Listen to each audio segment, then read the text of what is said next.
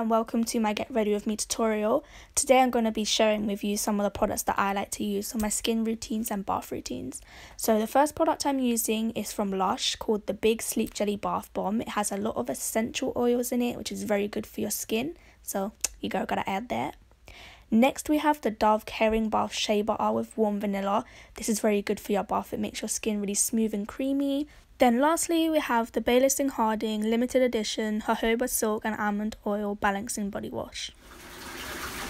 So next I am taking the Big Sleep Jelly Bath Bomb and it's a really pretty turquoise colour with blue tones at the top and it has a really refreshing floral sweet smell but it's not too over the top.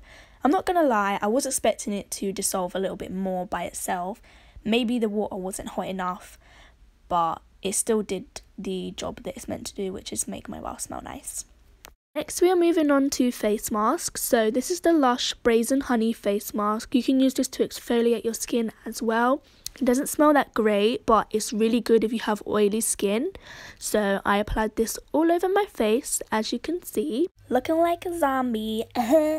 so, now the face mask is ready to come off. As you can see, it's dry, which means it's ready to be removed.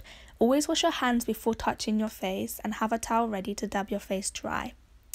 So the areas that I'm pointing to are where my face is oily the most.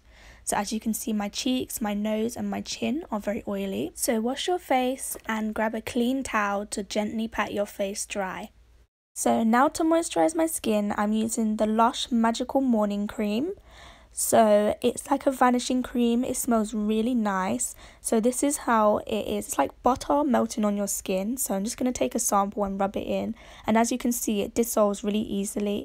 Lastly, I'm going to moisturize my skin and that will be the end of this tutorial. If you would like to see me test out some more Lush products, either face masks or bath bombs, feel free to give suggestions in the comments below on what specific item you would like me to test out. Here are a few of some of the ones that I already have, so if you would like to see me do a video on them, just like and subscribe.